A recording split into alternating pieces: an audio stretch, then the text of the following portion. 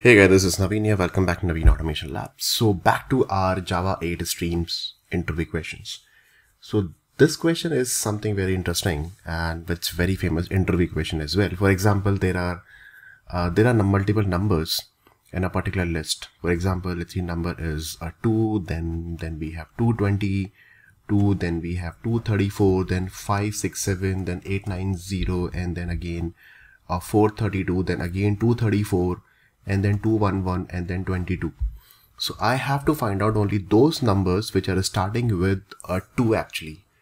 You can see the number which is starting with 2 like 2 then 222 uh, 234 and then let's see this is my 236 and then 211 and then 22 okay how will you do that? So that is what we have to think about it because here we have to convert an integer to string as well because we have to check a number which is starting with and starts with a, a start with is a function with a string not with integer. And then we have the a list of integers.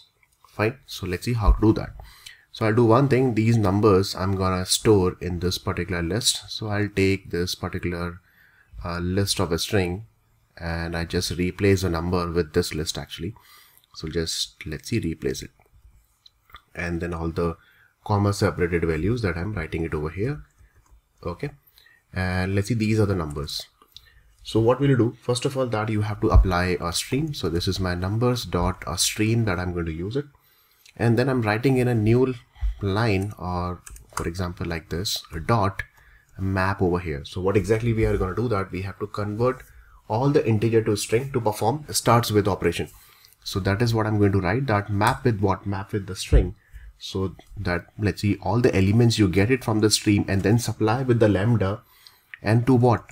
And then we have a method a string dot value of method. So string dot value of method is a, a typical manipulation method available in a string which will help me to convert a number to a string. And then I just convert this whatever the e number that we are getting just convert that. And after that I want to apply a filter. So how will you apply a filter? I simply write okay fine then dot a filter that I'm going to write and then on what basis? So i simply say let's see. Again you capture this particular uh, from map it will give you another stream and then number of elements will be given to this uh, filter.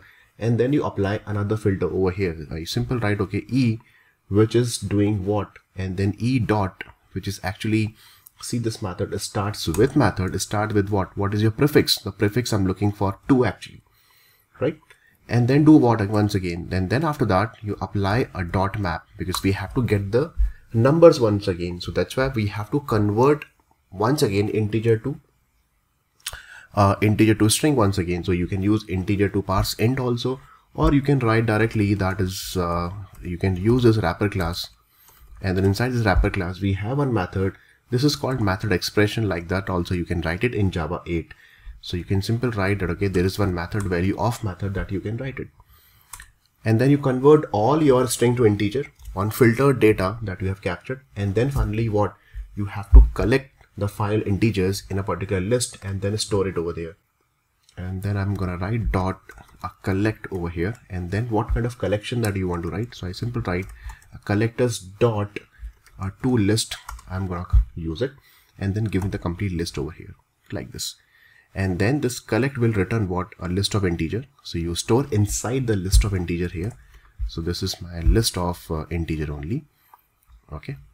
And then what kind of list that I'm, i have captured? So this is my a numbers list which is starting with 2 actually. So number with uh, 2 for example like this I'm gonna write it. Okay. And then I'll just tabbing over here. Perfect.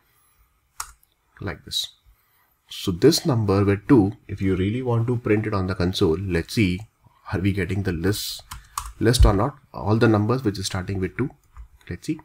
So let's run it and let's run as Java application. And when you see the console output, yes, awesome. You can see all the numbers are coming from this uh, list. So it will ignore 567, 890. You can see every number is starting with 2 actually right? So it's up to you which method that you i mean which prefix that you want to use. But remember you have to convert everything into string dot value of then only starts with method will work. Because this starts with you cannot directly apply on the numbers because number is primitive type. Right? And then start with is what? A string type of function. So you have to apply with the string only. So that's why the conversion is important. That's why you have to add this particular extra line and then you apply a filter over here. And then you can write, okay, I'm looking for all those numbers which are starting with 8. So starting with 8, we have only one number, 890. And let's see it is working or not in that case. So see 890 is coming. And let's say I'm looking for a number which is starting with 2, but there is one negative number also, minus 222. So will it consider minus number, negative number also? So let's see, see it is not considering because see this carefully. Minus will behave like a prefix over here. So you have to specifically write minus 2 or you can write one more or condition that is starting with negative or minus also or hyphen also that also you can write it. So this is your assignment. Let's see who does that. Write in the comment section your with your answer that we have to consider negative minus 2 also. It means a number which is starting with minus but minus 2 as well.